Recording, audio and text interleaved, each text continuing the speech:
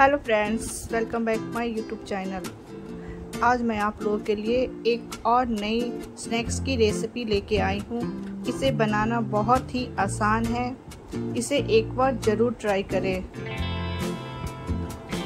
इसे खाकर आपका पेट तो भर जाएगा, पर मन बिल्कुल नहीं भरेगा। तो चलो रेसिपी स्टार्ट करते हैं। इसे बनाने के लिए एक कच्चा आलू को अच्छे से छील, अच्छे से छील के साफ़ करें और उसे क्रश कर लें। साबुदाना को आप एक घंटे पहले ही फुला लें।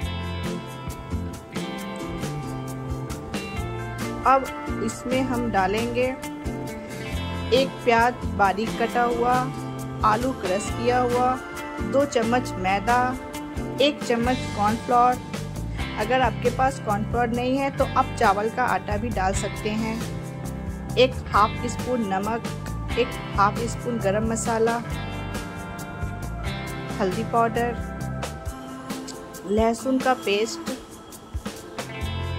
सबको अच्छे से मिक्स कर ले। इसमें पानी बिल्कुल ना डाले। ये साबुदाना और आलू के जो पानी छोड़ेगा ना, उसी से ये अच्छे से मैश हो जाता है। आप इसे अच्छे से मैश कर लें। और आप अपने जिस भी आकार में बनाना चाहते हैं, उस आकार में बना लें।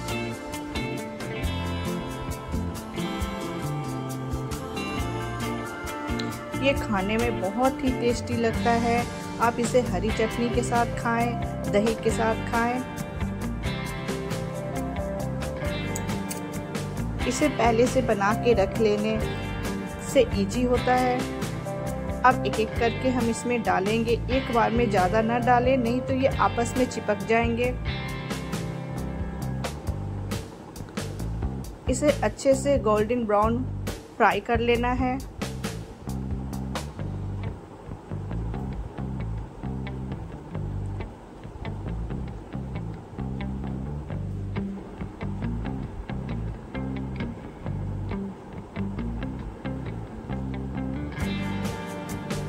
इसे तेज आँच पे बिल्कुल फ्राई नहीं करें, नहीं तो ये ऊपर से पक जाएगा और अंदर में कच्चा रह जाएगा। देखो, ये हमारा बहुत ही अच्छा कलर आ गया है। अब इसे हम एक प्लेट में निकाल लेंगे। देखो, हमारा साबुदाना बड़ा रेसिपी तैयार हो चुका है। आप एक बार इसे ज़रूर ट्राई करें।